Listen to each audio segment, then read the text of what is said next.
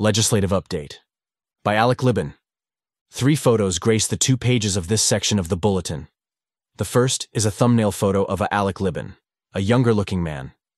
The image is a shoulder length frontal view against a dark brick background. He is wearing the usual dark blue BVA collared shirt with the logo over the left front pocket. His expression consists of a faint smile. There is no accompanying caption. The second photo reveals four formally dressed individuals standing side by side behind a large wreath. The wreath contains a ribbon that extends from top to bottom and reads Blinded Veterans Association, moving downward vertically. On both sides of the group are other wreaths, and behind the four are trees and other vegetation. The caption states The VA Guided Veterans Day. National Committee assists in the annual planning of National Veterans Day celebrations at Arlington Cemetery and in other locations throughout the country. As an original committee member, and by virtue of its congressional charter, BVA enjoys a significant presence at such events. Pictured here near the tomb of the unknown soldier wreath laying, Alec Libin, far right, joins, left to right, Don Overton, Duane Driscoll, and Meredith Buono de Grossa. The third and final photo displays the seating area of a large outdoor meeting place. The image aims to capture the platform stage at the front. Therefore, the photo was taken behind the backs of almost the entire audience as they look toward the stage. In the photo, there are no people yet on the stage, but the seating area in front of it, and throughout the structure appears nearly full. The caption reads, A sun-drenched Veterans Day morning at Arlington National Cemetery brought a capacity crowd of nearly 5,000 veterans, their family members, VA officials, and leaders of veteran service organizations to its memorial amphitheater. The update is expressed by the following. The last few months have been very productive on a chief legislative goal of ours, that of congressional action on the establishment of a federal advisory committee to work with the Department of Veterans Affairs, VA. Senators Bob Casey, DPA, and Rick Scott, RFL, have introduced S 2516, the Veterans Accessibility Act of 2023. Passage of S 2516 would establish just such a committee, those who have kept abreast of recent developments know that VA has had trouble implementing Section 508 of the Rehabilitation Act of 1973, ensuring equal access for the blind and visually impaired.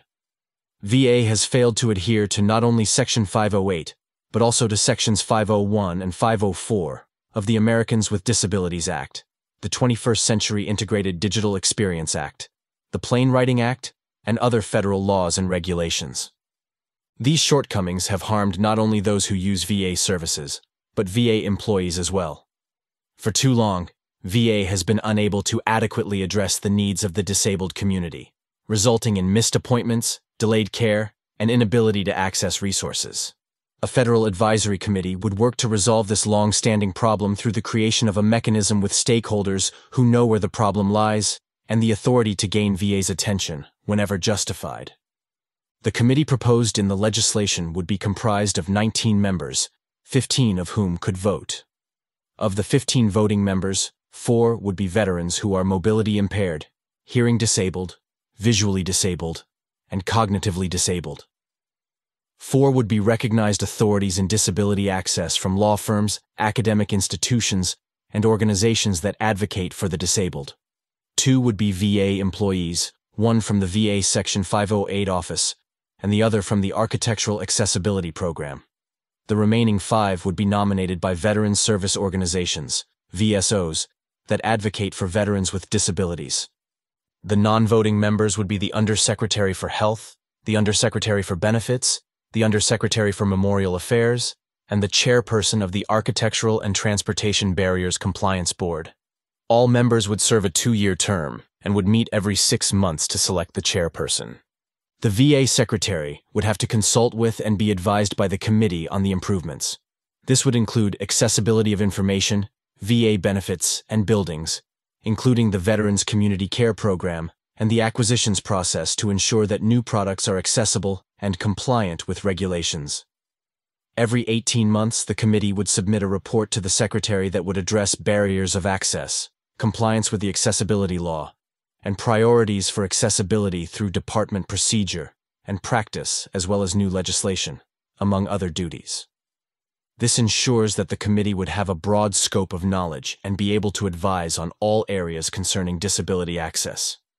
In an ideal world, VA and all public-facing institutions would be made accessible at their inception, and continuity of access would be among their top priorities.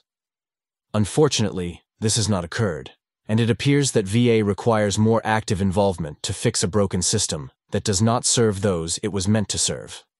We do not doubt VA's commitment to helping veterans and their families, but we do doubt the course they have chosen to do so. We are not alone in this opinion, having been supported by other VSOs. BVA will be pushing a one-click campaign soon.